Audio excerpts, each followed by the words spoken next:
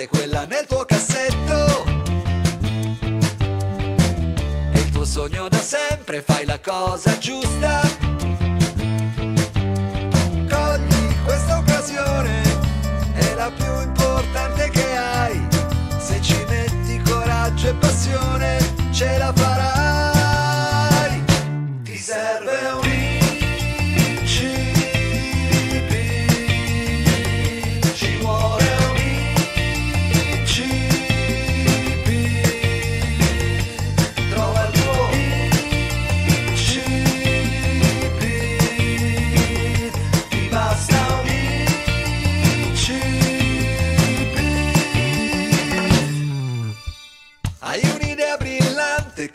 tira in testa